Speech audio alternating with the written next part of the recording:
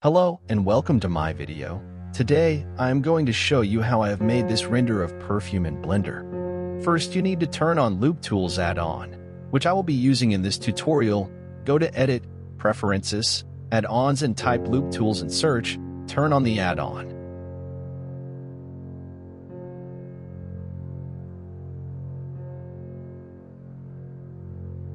Delete everything and add cylinder.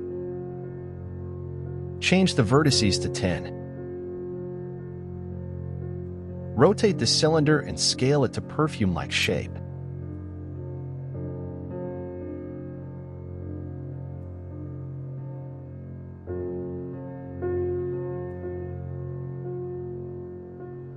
Go to Edit Mode and move it up by 1.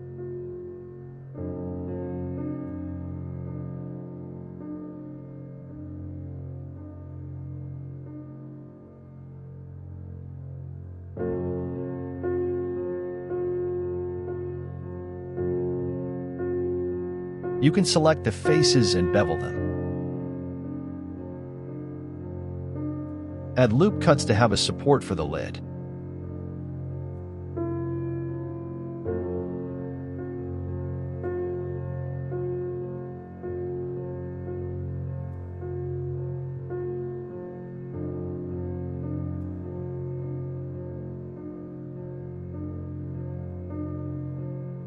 To be able to use the loop tools, you have to click Tab and go to Edit Mode. Once you are in Edit Mode, select faces which you want to be transferred into Circle and then left mouse click and select Loop Tools and select Circle, then just adjust it by hand. From now on just follow the screen recording, it's going to be repetitive work of moving, editing, and extruding edges.